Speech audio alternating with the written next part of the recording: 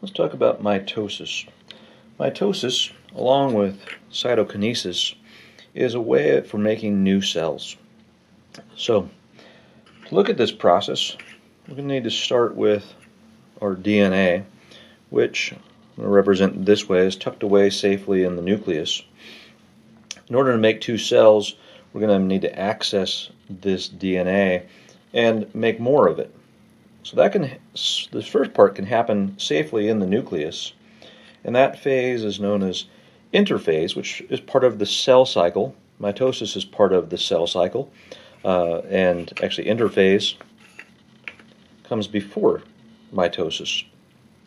And one of the necessary parts that happens during interphase is replication, where we make more DNA. Now we have double the amount of DNA. I've actually made sister chromatids. We can't see those yet, so we'll have to come back to that one. Let me put that on the back burner here over at the side. All right, now that I have double the amount of DNA, I can proceed into starting mitosis.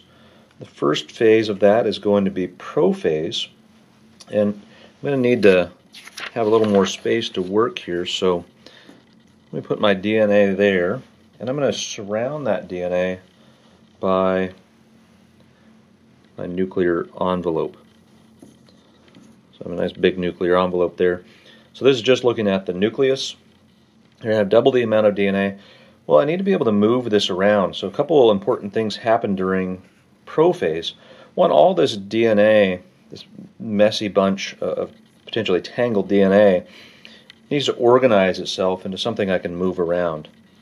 And that is our chromosomes, which come in pairs. So remember, I got a pair, one from mom, one from dad. I have a long pair, I have a medium pair, I have a short pair in this illustration.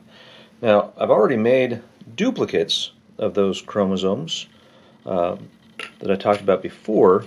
I actually have sister chromatids, which I'm making here now,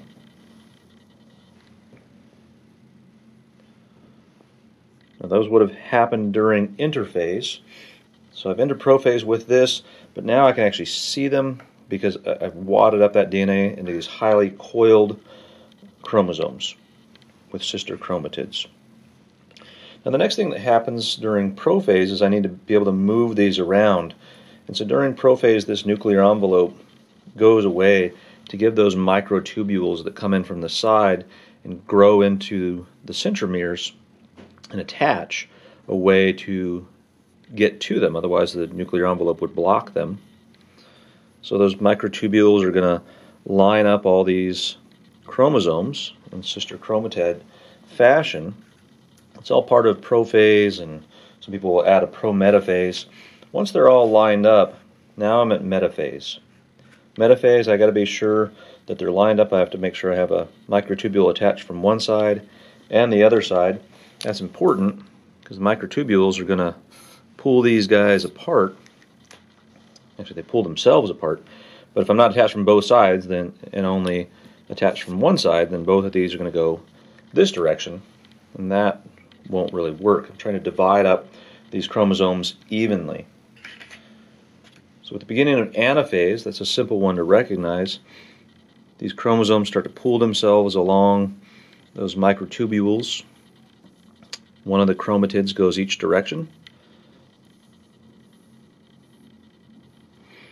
And so now I end up with my chromosomes on each side. I started with six.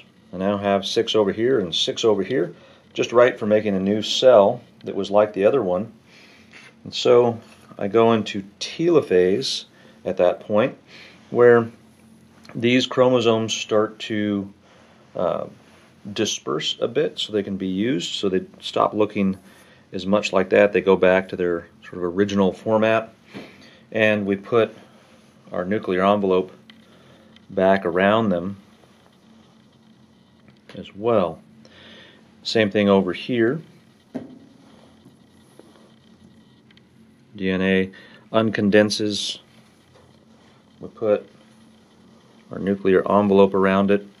Now I have two nuclei, so I'm done with mitosis, but I don't have two cells yet. And that's where cytokinesis comes in. A lot of times cytokinesis happens at the same time telophase does, while these chromosomes uh, are being uncondensed and being circled up in a new nucleus. The cell itself starts pinching in in that membrane and pinches the cell in half. Uh, in plant cells, it forms a new cell wall. But now I actually have two cells, and that's cytokinesis. And that's the goal of mitosis is to make two cells just like the one I started with.